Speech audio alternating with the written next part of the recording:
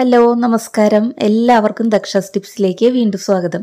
ഇന്ന് നമ്മൾ തയ്യാറാക്കുന്നത് നല്ല ടേസ്റ്റി ആയിട്ടുള്ള ഒരു മുട്ട റോസ്റ്റാണ്. ഹോട്ടലിൽ നിന്നൊക്കെ കഴിക്കുന്ന അതേ ടേസ്റ്റിലുള്ള ഒരു മുട്ട റോസ്റ്റാണ്. ഇത് അപ്പം ഇടിയപ്പം ഈവൻ ചോറിന്റെ കൂടെ പോലും കഴിക്കാൻ നല്ല ടേസ്റ്റാണ്. അപ്പോൾ നമുക്ക് ഒട്ടും സമയം കളയാതെ ഈ മുട്ട റോസ്റ്റ് എങ്ങനെയാണ് തയ്യാറാക്കുന്നതെന്ന് കണ്ടു നോക്കാം.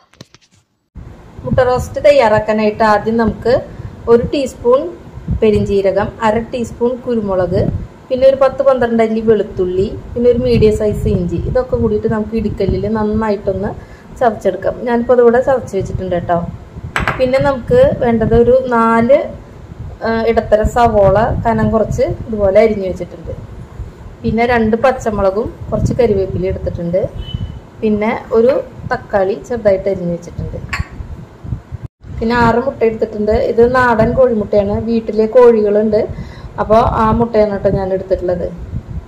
പിന്നെ ഇതിൽ ചേർക്കുന്ന പൊടികളുടെ അളവൊക്കെ നമ്മൾ ഇത് തയ്യാറാക്കുമ്പോൾ പറയാം കേട്ടോ. ഇനി നമുക്ക് സ്റ്റവ് ഓൺ ആക്കിയതിന് ശേഷം ഒരു കടായി അടുപ്പത്ത് വയ്ക്കാം അതിലേക്ക് ഒരു രണ്ട് ടേബിൾ സ്പൂൺ വെളിച്ചെണ്ണ ചേർത്ത് കൊടുക്കാം. വെളിച്ചെണ്ണയിൽ തയ്യാറാക്കുമ്പോഴാണ് കേട്ടോ ഈ മുട്ട റോസ്റ്റിന് നല്ല ടേസ്റ്റ്. വെളിച്ചെണ്ണ ഇഷ്ടമില്ലാത്തവർക്ക് അതിന് പകരം ഏതെങ്കിലും ഓയിൽ ഉപയോഗിക്കാം. അത് വെളിച്ചെണ്ണ നന്നായിട്ട് ചൂടായിട്ടുണ്ട്. ഇതിലേക്ക് നമ്മൾ ചതച്ച് വെച്ചിട്ടുള്ള ഇഞ്ചി വെളുത്തുള്ളി കൂട്ട് പെരിഞ്ജീരകവും കുരുമുളകും കൂടി ചതച്ച് വെച്ചിട്ടില്ലേ അത് ഇതിലേക്ക് ചേർത്ത് കൊടുക്കാം. ഈ മസാലക്കൂട്ട് നന്നായിട്ടൊന്ന് മൂത്ത് വരണം. ഇത് മൂക്കുമ്പോ നല്ലൊരു മണം വരും കേട്ടോ നല്ലൊരു സുഗന്ധാണ്.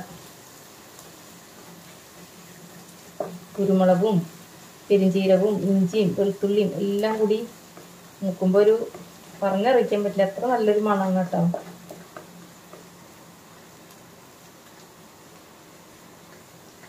ഇത് നന്നായിട്ടൊന്ന് മൂത്ത് വരണം.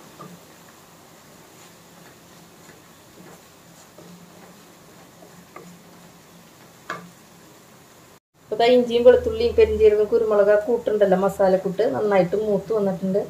നല്ലൊരു മണമാണ് കേട്ടോ. ഇതിലേക്ക് നമുക്ക് കുറച്ച് കരിവേപ്പില ചേർത്ത് കൊടുക്കാം. ഇനി നമുക്ക് ഇതിലേക്ക് നമ്മൾ അരിഞ്ഞു വെച്ചിട്ടുള്ള സവോളയില്ലേ അത് ചേർത്ത് കൊടുക്കാം. എന്നിട്ട് നന്നായിട്ടൊന്ന് ഇളക്കി യോജിപ്പിക്കാം. സവാളയൊക്കെ നന്നായിട്ട് വഴന്നു വരണം. ലൈറ്റായിട്ട് ബ്രൗൺ കളർ ആവുന്ന വരെ നമുക്ക് വഴറ്റി കൊടുക്കാം.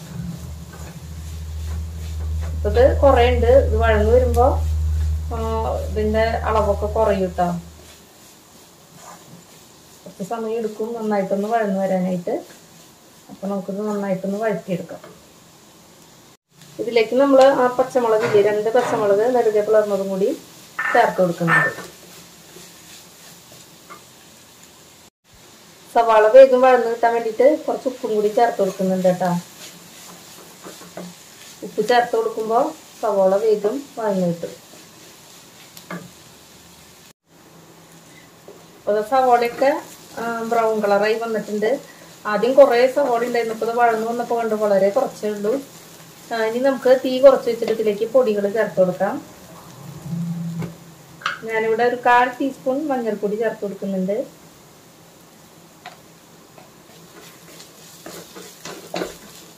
ഇപ്പോൾ തീ കുറച്ച് വെച്ചിട്ടാണ് കേട്ടോ പൊടികൾ ചേർത്ത് കൊടുക്കാൻ. ഇനി പൊടികൾ കരിഞ്ഞു പോകും. അപ്പം മുട്ട റോസ്റ്റിന് പെർഫെക്റ്റ് ആയിട്ടുള്ള ഒരു ടേസ്റ്റ് കിട്ടില്ല? അത് എപ്പോഴും ശ്രദ്ധിക്കണം. ഇനി നമ്മൾ ഇതിലേക്ക് ചേർത്ത് കൊടുക്കുന്നത് മുളക് പൊടിയാണ്. പിന്നെ രണ്ട് ടീസ്പൂൺ മുളക് പൊടിയാണ് കേട്ടോ ചേർത്ത് കൊടുക്കുന്നത്.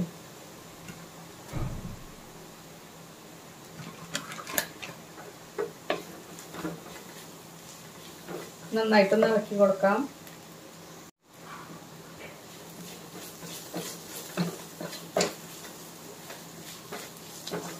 മഞ്ഞൾപ്പൊടിയൊക്കെ നന്നായിട്ടൊന്ന് മൂത്ത് വരണം.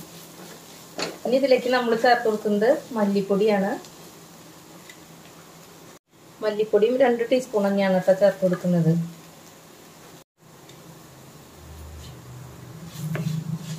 വീണ്ടും നന്നായിട്ടൊന്ന് വഴറ്റി കൊടുക്കാം. ഇനി ഇതിലേക്ക് നമ്മൾ ചേർത്ത് കൊടുക്കുന്നത് ഗരം മസാലപ്പൊടിയാണ്. ഒരു അര ടീസ്പൂൺ ഗരം മസാലപ്പൊടിയും കൂടിയും ചേർത്ത് കൊടുത്തിട്ടുണ്ട്. മസാലകൾ വല്ലാതെ കൂടണ്ട. ഗരം മസാലപ്പൊടി അധികം ചേർക്കണ്ട. അങ്ങനെയാകുമ്പോൾ ഒരു മസാലയ്ക്ക് ഒരു കൈപ്പുരസം രസം വരും. നേരത്തെ നമ്മൾ ഓൾറെഡി പെരിഞ്ചീരകമൊക്കെ ചേർത്തിട്ടുണ്ടല്ലോ. അപ്പോൾ ഇത്രയാണ് പൊടികളായിട്ട് ചേർത്ത് കൊടുത്തിട്ടുള്ളത്.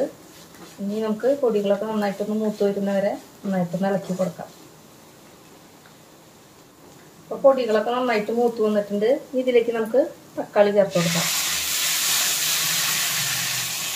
തക്കാളി ചേർത്തതിന് ശേഷം നന്നായിട്ടൊന്ന് ഇറക്കി യോജിപ്പിക്കുക. തക്കാളിയൊക്കെ വെന്തുടഞ്ഞ് നല്ല പേസ്റ്റ് പോലെയായിട്ട് വരണം. അപ്പോൾ നമുക്കിതൊരു രണ്ട് മിനിറ്റ് നേരം ഒന്ന് അടച്ചു വെച്ചിട്ട് വേവിക്കാം കേട്ടോ. ഇതിലേക്ക് നമുക്ക് ആവശ്യത്തിന് ഉപ്പ് ചേർത്ത് കൊടുക്കാം. നേരത്തെ വഴറ്റുമ്പോൾ കുറച്ച് ഉപ്പ് ചേർത്തിട്ടുണ്ടായിരുന്നു. അത് കണക്കാക്കിയിട്ട് വേണം ഉപ്പ് ചേർത്ത് കൊടുക്കാനായിട്ട്. ഉപ്പ് കൂടി കഴിഞ്ഞാൽ അതിന്റെ ടേസ്റ്റ് ആകെ മാറും. നമുക്ക് കുറവാണെന്നുവെച്ചെങ്കിൽ നമുക്ക് ലാസ്റ്റ് നോക്കിയിട്ട് വീണ്ടും ചേർത്ത് ശരിയാക്കാൻ പറ്റും. ആദ്യമേ കൂടി കഴിഞ്ഞാൽ പിന്നെ ഒന്നും ചെയ്യാൻ പറ്റില്ല. അപ്പോൾ ഉപ്പിടുമ്പോൾ എപ്പോഴും ശ്രദ്ധിക്കണം കേട്ടോ നമുക്ക് ഒന്ന് അടച്ചു വെച്ചിട്ട് ജീവിക്കാം ഇത് രണ്ട് മിനിറ്റ് ആയിട്ടുണ്ട്. നമുക്കൊന്ന് തുറന്ന് നോക്കാം. ഇത് തക്കാളിയൊക്കെ നന്നായിട്ട് വെന്തുടങ്ങി വന്നിട്ടുണ്ട്. ഇതിലേക്ക് നമുക്കൊരു അര കപ്പ് ചൂടുവെള്ളം ഒഴിച്ചു കൊടുക്കാം കേട്ടോ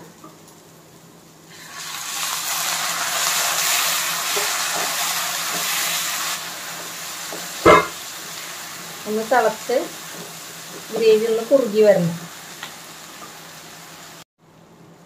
ഒരു രണ്ട് മിനിറ്റ് ആയിട്ടുണ്ട്.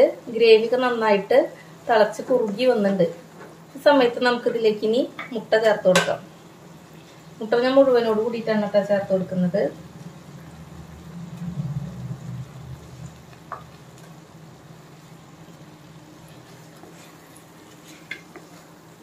ഗ്രേവിയൊക്കെ മുട്ടയുടെ ഉള്ളിലേക്കൊക്കെ നന്നായിട്ടൊന്ന് പിടിച്ചു വരണം. ഞാനിതിന്റെ ഉപ്പൊക്കെ ഒന്ന് നോക്കട്ടെ കേട്ടോ ഉപ്പ് കുറച്ച് പോരായിയാണ്. പിന്നെ കുറച്ച് പുള്ളി ചേർത്ത് കൊടുക്കുന്നുണ്ട് കേട്ടോ എന്നിട്ട് വീണ്ടും നന്നായിട്ടൊന്ന് ഇളക്കി യോജിപ്പിക്കാം.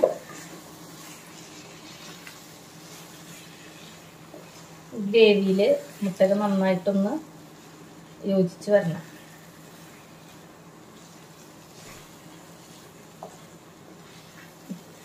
ഗ്രേവിക്ക് മുട്ടയുടെ ഉള്ളിലേക്കൊക്കെ നന്നായിട്ടൊന്ന് പിടിച്ച് വരട്ടെ കേട്ടോ നമുക്കിതൊരു അഞ്ച് മിനിറ്റ് നേരം കൂടി നന്നായിട്ട് ഒരു മീഡിയം ഫ്ലെയിമിലിട്ടിട്ടൊന്ന് വേവിച്ചെടുക്കാം. ഗ്രേവി ഒന്നും കൂടി ഒന്ന് കുറുകി ഡ്രൈ ആയിട്ട് വരട്ടെ കേട്ടോ നിങ്ങൾക്ക് ഈ പാകാണ് ഇഷ്ടത്തിങ്ങ് ഇപ്പോൾ ഓഫ് ചെയ്യാം. ഞാനത് കുറച്ചും കൂടി ഒന്ന് ഇളക്കി ഒന്നുകൂടി ഡ്രൈ ആക്കി എടുക്കുന്നുണ്ട് കേട്ടോ.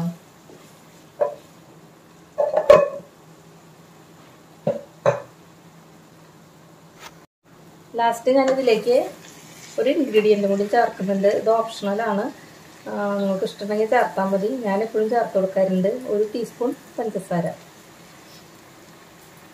പഞ്ചസാര കൂടി ചേരുമ്പോൾ ഈ ഗ്രേവിക്ക് ഒരു പ്രത്യേക ടേസ്റ്റാണ് കേട്ടോ. ഇഷ്ടമില്ലാത്തവർക്ക് ഒഴിവാക്കാം.